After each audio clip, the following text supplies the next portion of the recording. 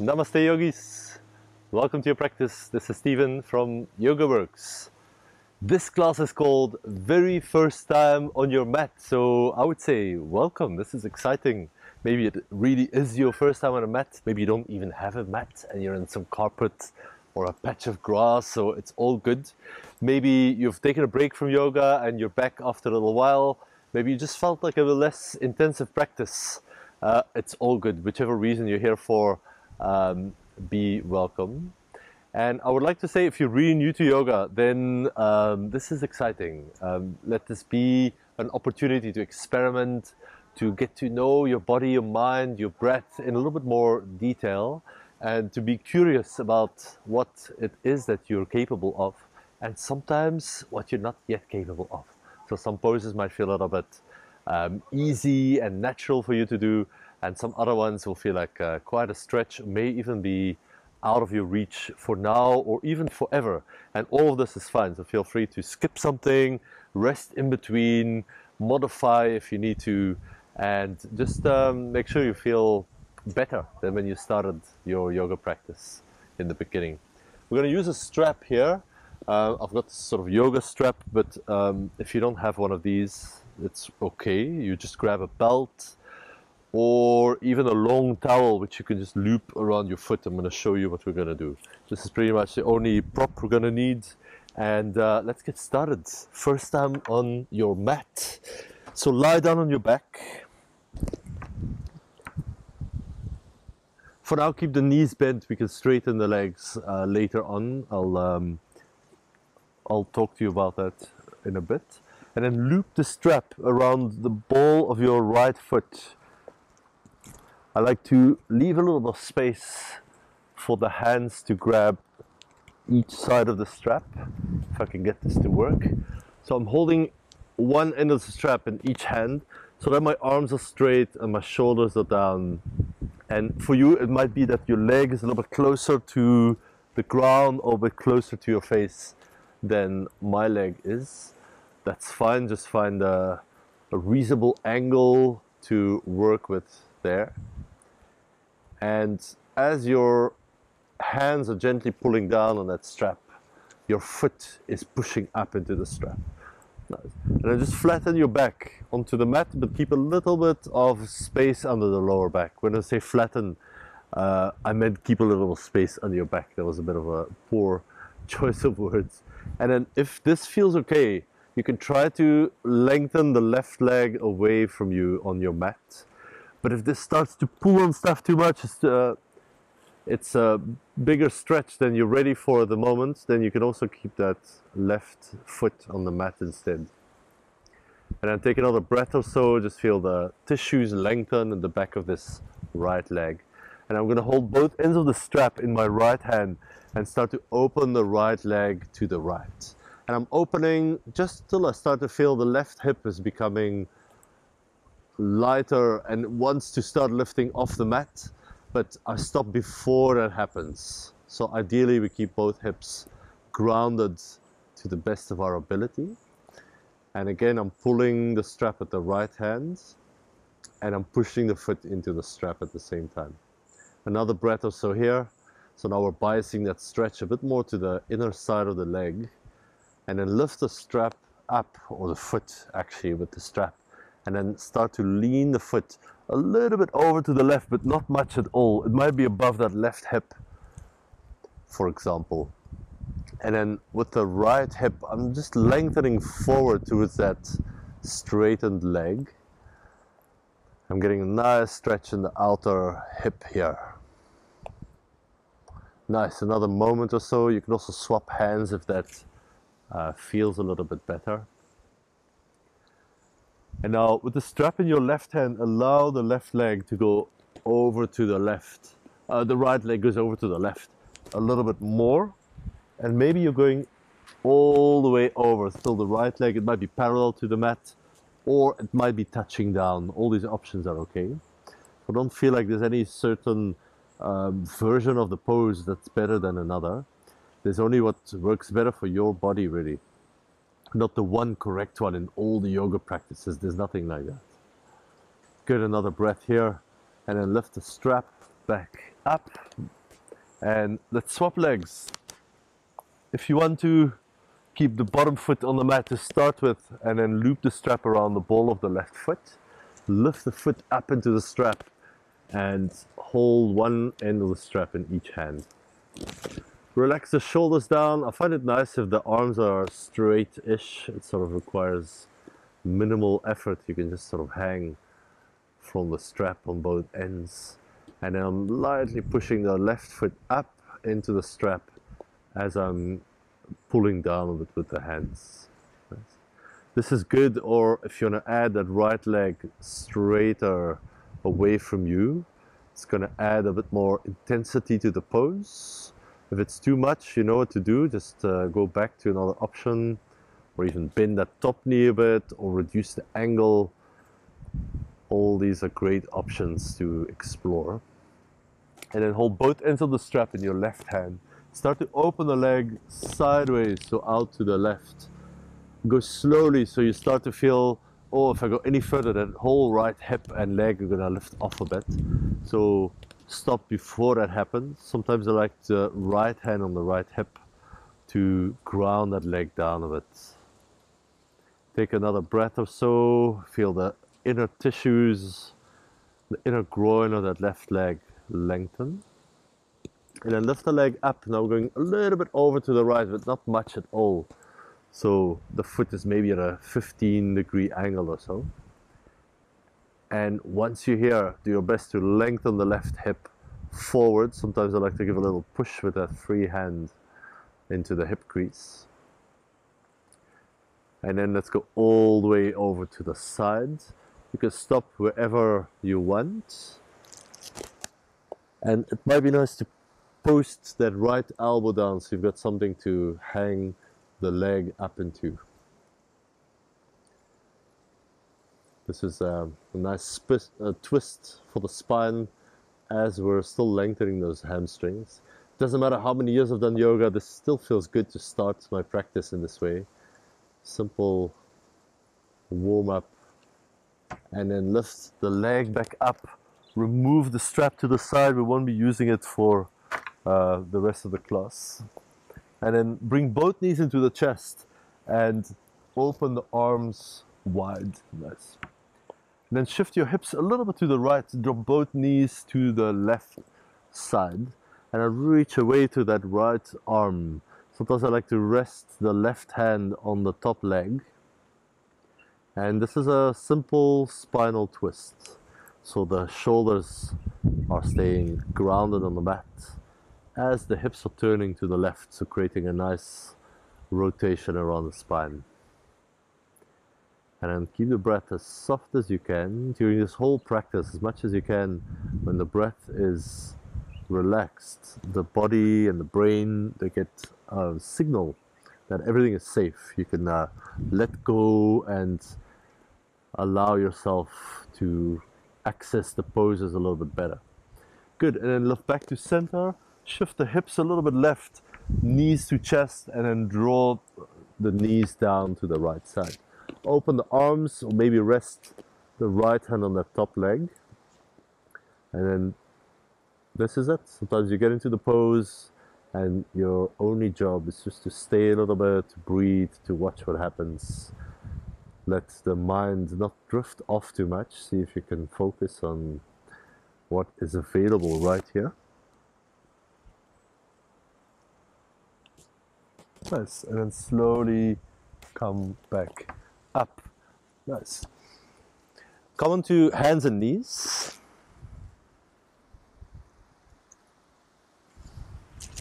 Stack your shoulders over the wrists and the hips over the knees and try to have as neutral a spine as possible. Nice. And then lightly squeeze around your center so we're engaging the abdominals, maybe even the muscles in the side of the torso, your obliques, and then reach your left leg back and post the left toes down on the mat. So you could say this is a half plank, one knee is still down, but that left leg is in a plank. And lengthen the chest a little bit forward, including the crown of the head reaching forward. Nice. Either stay here or you can lift that left foot a bit off the mat. Watch that the belly doesn't drop too much. You don't lose your core awareness. And then if you feel quite stable, you can reach right arm forward over the head. Nice. Couple of breaths here. Just feel the body is working to stabilize down the middle. And add a little reach through the right arm and the left leg. Good. And place everything down again. Let's swap sides. So the right leg, reach it back, tuck the toes under. Straighten that whole right leg as you press the heel a bit back. And then lengthen your spine forward, crown of the head forward. Nice. This is uh, the beginning of plank. Plank on the one side with that leg. And then keep the spine in uh, as neutral as possible position as you can. Lift the right leg a little bit. I would recommend not to go too high and then reach the left arm over the head. Breathe a couple of times here through the abdominals, into your back, into your whole rib cage. Feel those little movements forward and back, side to side to stay balanced. One more breath. And then release the hands down. Ah, so let's do downward facing dog. So spread your fingers wide, press all parts of the hands down at the front of the mat, and press the hips up and back. So on the feet and the hands for this pose.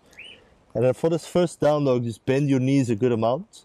Make sure you get the distance right. Sometimes if you're too far or too close to the hands, it uh, doesn't feel so good. So just try to align it right in the middle. takes a bit of time, a bit of practice to find the right distance for your body. And then press the hands down, lengthen the hips up and back. Keep the knees bent so that your spine can be free and you're not restricted by some tension in the hamstrings. Good. And then back down, lower the knees. We're gonna do one more of those uh, bird dogs, a little bit of core work we did in the beginning. So left leg back. You can go straight back this time, right arm forward and balance. Take another breath, reach through the arm and the leg. And then place the hand down, swap sides, right leg, left arm, breathe. Add a little reach through the arm to the leg, one more breath. And then exhale, place it down. Nice. Downward facing dog again. Spread the fingers wide, push down onto the mat. Lift the hips up and back. And this time we'll try something else. Lift the heels as high as you can, straighten the legs, and then push away through the hands, lift the hips up and back. So you get a super high triangle, you could say, with the apex being your the base of the spine and the tailbone. Now let's lift up, up, up through the sit bones, through the spine, to the tops of the legs. Press the hands down and then slowly lower down. But anytime your wrists get a little bit sore, that's quite common in yoga, you can always do a few circles or get off the hands um, whenever you need to. Nice. And then let's come down onto the belly into Sphinx pose. Sphinx is where we stack the shoulders over the elbows and with the hands, I quite like to clasp them together, but there's other options. You can do prayer hands or palms down on the mat if that feels better. And then just press the elbows down and ever so slightly pull the hands towards you, broaden the chest. That's a nice mild back bend. It's great if you've been sitting for a long time. You just want to um, move the spine in different directions, open the chest and the front of the shoulders. Another breath or so, feel the little stretch in the belly. And then slowly release. Nice. You can press back to child's pose just for a little brief moment. This is a good resting pose in case any of the poses that your yoga instructor uh, proposes is not working for you. You can always relax for a moment here to catch your breath, to rest, and then to join in again when you're ready. Good, let's come up to standing. We're gonna do standing forward fold. We've chosen some really accessible staple poses that you'll find in most yoga classes. So for me, I like the feet hip distance apart. Some people like closer together or even wider. Try out different options and see what works. But the hip distance feels uh, nice and stable. Good.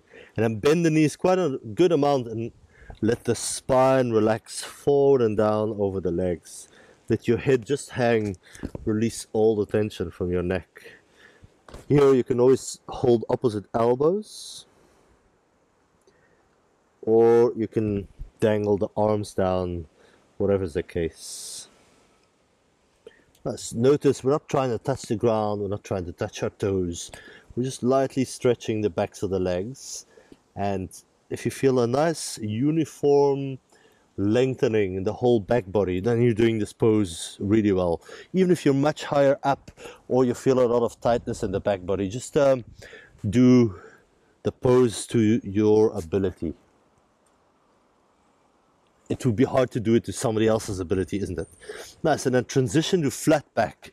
This is, um, I like it most with the hands on the shins. So push the hands to the shins. You can straighten the legs if that feels doable. And then lengthen your chest forward.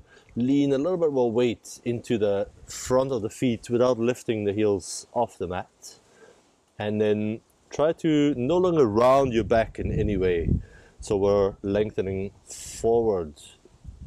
Now here lift the belly a little bit up towards the spine just to keep a bit of core awareness keep the breath flowing we, call, we often call this half lift or half forward fold or flat back in some yoga classes. Good. And then release the arms down, bend the knees. With the knees bent, slowly roll up to standing. That's do another uh, staple yoga pose called the chair. For this, keep the feet hip distance. Bend the knees quite a good amount so you're sitting nice and low in an imaginary chair and then reach the arms up. Press the thumbs a little bit behind you and then look forward with your ears somewhere between the biceps. Nice. Try not to go into a big back bend. Keep the spine a little bit stable. Keep the abdominals on. And then slowly come up. This one definitely works. The legs, nicely. Nice. Plant the left foot down and then hold your right ankle in your right hand. Now see if you can bring the right foot into the left inner thigh. Squeeze the two together and then bring the hands to the heart. This is tree pose or the first variation of tree pose. If it's really hard for you to balance today, just hold onto a wall or a piece of furniture or something nearby. Uh, your husband, your partner, your children, whatever is required to balance or actually what most often happens we all fall out sometimes and then you just come back. This is fine. Just make peace with uh, that this is going to happen at some point. You're going to lose your balance. Because we all do good and if you want you can reach the arms up into the sky for a different expression of the same pose if it feels worse then you can always keep your hands down as well Good, and then release the leg down. In between, you can shake the legs for a moment. And then keep the right foot down. Hold your left ankle and place the foot inside the thigh. Good. Once you get there, press the two together. Bring the hands to the heart. Focus your gaze on something steady in front of you. And then also try to steady your breath. Either stay here or lift the arms. Reach up through the fingers. And accept these little movements or sometimes big movements because there's no tree that's perfectly static and unmoving. That's just not how nature works. Good, one more breath. And then slowly come out. You can shake the legs out. Now step the feet wide. You might have to turn to your left or to your right. That's fine. So legs quite wide. If I were to stretch out my hands, then the ankles are more or less under the wrists, just to give you a bit of a reference. Doesn't have to be perfect. And then turn the right toes out. And I quite like the heels to be aligned here, but you can also explore other options. Good, and then bend that right knee until the right knee is above the right ankle. Nice. Don't go beyond the ankle, that probably means you need to lengthen the pose, make it a bit longer. And then engage the abdominal slightly, reach the right hand forward and the left arm back. So now I'll try to get the same intensity into all parts of the body.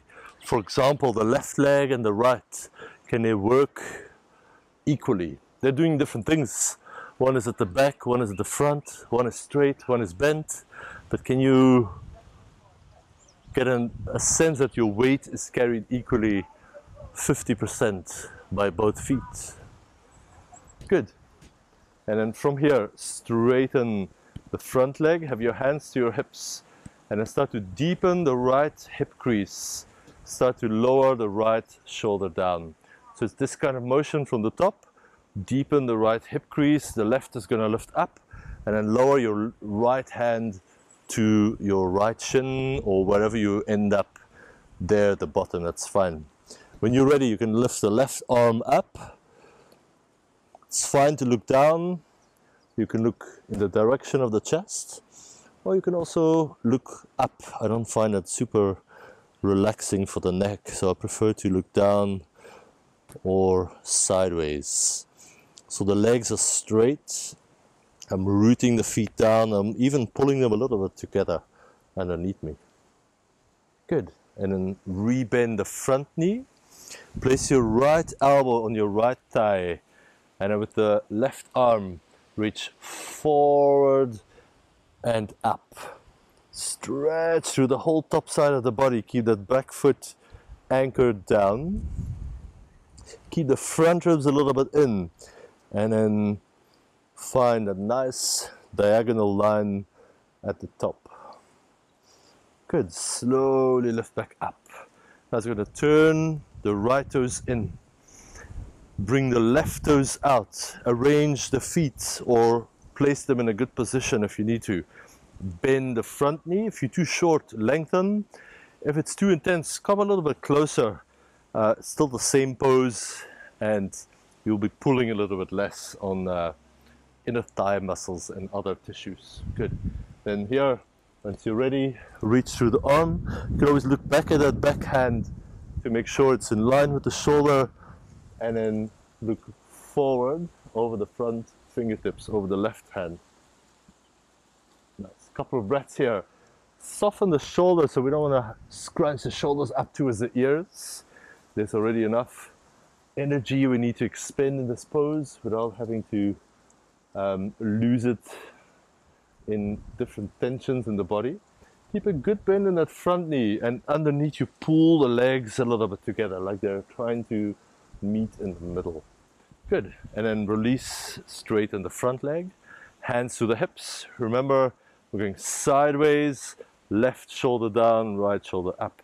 If you want to practice one more time, is that sort of hinge where left shoulder goes down, right shoulder up and then release the left hand. Reach the right arm up. So the arms are more or less in one straight line. Ground the feet down. Let the breath move freely through the pose. If you find in any pose the breath can't move, you're holding your breath, it's probably too intense. You might have to back off a little bit or even skip it altogether. Nice. Rebend the front knee, left elbow to the left thigh, and when you're ready, reach the right arm forward and up. So you get a nice long line on the top side of the body. Press the outer edge of the back foot down. You might need to lift the inner arch to do that and then breathe some space into the right side of the rib cage and under that right arm. One more breath. Good. Slowly lift back up. Now we're going to parallel the feet again, just like how we started. We will build on this pose. Have, have your hands to your hips. Nice. Keep the legs grounded. Start to hinge forward from the hips. So it's like you're pulling yourself down with the front of the hips. Once you reach you know, that end point where you just naturally stop, release the hands down. You can flatten the palms if that's available. And if you want to, you can always walk the hands a bit further back in between the feet for Prasarita Padottanasana. This is what we call the wide-legged forward fold in Sanskrit. Ground down through the feet. Lift up through the kneecaps so your quads are active so that the more the quads activate, the more the hamstrings, the backs of the legs can release. If the head comes down, make sure it's light. There's not a lot of weight in the crown of the head. And then your arms are bent to about 90 degrees if you walk them further back. You might not be able to see that. Good, and then come back up onto the fingertips. And then just make your way down to a seat. Nice hold the backs of your legs. Hold the backs of the thighs. Come up onto the tippy toes, so lift the heels, and then lengthen the spine. Keep the shoulders onto your back. Nice. Keep a nice lift in the chest as you start to lift the feet until your lower legs are parallel to the mat. This is what we call boat pose Navasana. You can either stay here with the hands at the backs of the thighs, or you can reach the hands forward and see if you can balance on the hips. Try not to collapse and round too much, so it's chest up, shoulders back, legs active, even the fingertips active. Three, two, one, and lower the legs down. Nice. Bend the right knee. Let's place the right foot over the left knee, so to the outside. Do something active with this bottom leg, so activate your foot. And then wrap the elbow of your left arm around the outside of the right knee. Place the right hand behind you and then lift the chest up. We're trying to lengthen the spine. After you lift as much as possible, start to turn to the right for our seated twist A couple of breaths here. You can turn the neck further, you can even look over that right shoulder, but sometimes your neck is not going to be very happy with that. So if that's the case, rather just keep the head a little bit more neutral. You can see you've got lots of options in these yoga classes. So you can always choose to push a little bit harder or back off a little bit and choose a bit of a easier option. Good, straighten the right leg. Bend the left knee and place your left foot over the right knee. Activate the bottom leg, the bottom foot, and then right elbow wraps. Left hand goes behind you. First lift the chest, get some height as you ground the sit bones down. And then turn to the left. Keep it simple. Nice grounding through the leg and through the hips nice lift through the spine without getting very tense so your breath can still move easily. Good. When you're done, slowly release and then bend your knees. Reach your hands forward round your back and then see how slowly you can lower yourself all the way down. So you're doing this with as much control as you can. And then rest the head down at the end. Place your feet parallel and about hip distance apart, quite close to the hips.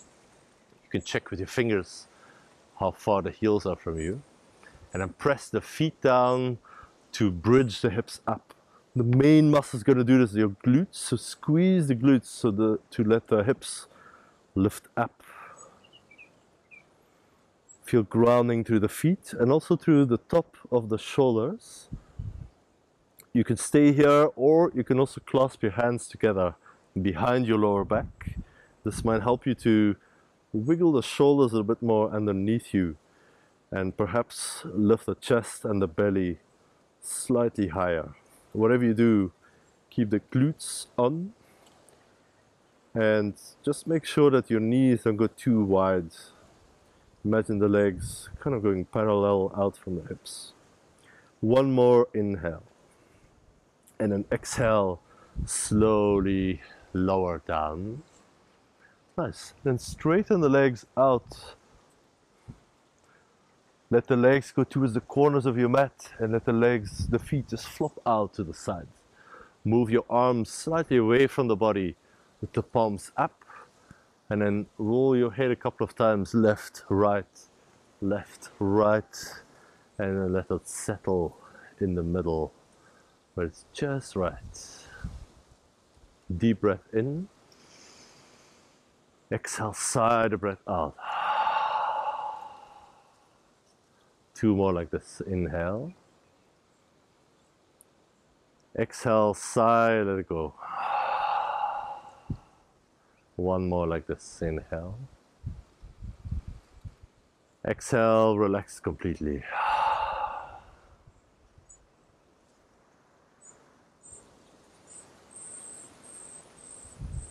This is our final resting pose. Always good to spend a few moments here after your practice. A few minutes can already work wonders, but if you really want to make a big difference, then maybe five to ten minutes would be a great luxury. So if you can, feel free to stay here as long as you like, really. Or if it's time to go, you just allocated half an hour to your practice, then start to move your hands, move your feet, bend your knees, roll over to your side, and then slowly come up to sitting. Fold your palms together in front of the chest. Touch your hands to your forehead, to your heart center and bow to yourself on the mats. Yogis, thank you so much for practicing. Namaste, everybody. It was a pleasure to guide you perhaps through your first yoga class or at least um, a nice uh, relaxing practice, good old basics, uh, good old hatha practice. And I hope you feel amazing and that you come back for many, many more yoga classes in your life. Good. All the best, stay well, and see you here soon.